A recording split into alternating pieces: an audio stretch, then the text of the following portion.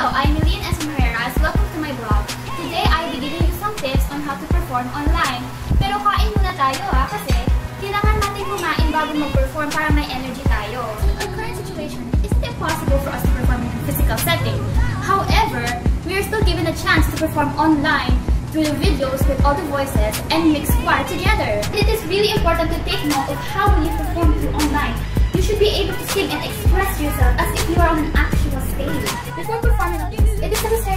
Basic posture, positions, and expressions. A. Preparation. For, for preparation, one must know their piece by heart and sing accurately with the recording.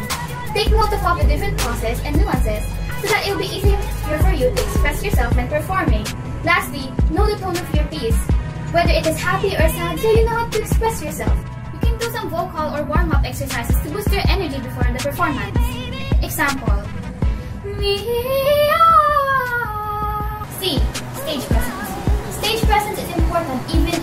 in online.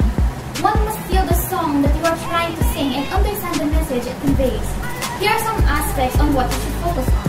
Number one, eye contact. It will be eye contact when filming. It is important to look directly at the camera so you can connect more to the audience. Two, proper position.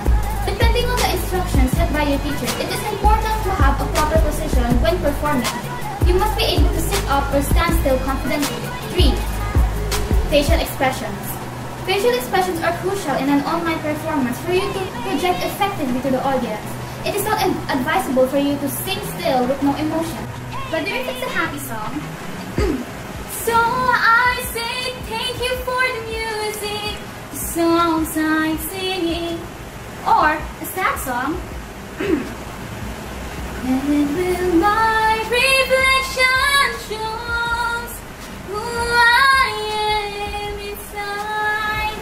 You must always give effort, love, and feelings to your performance.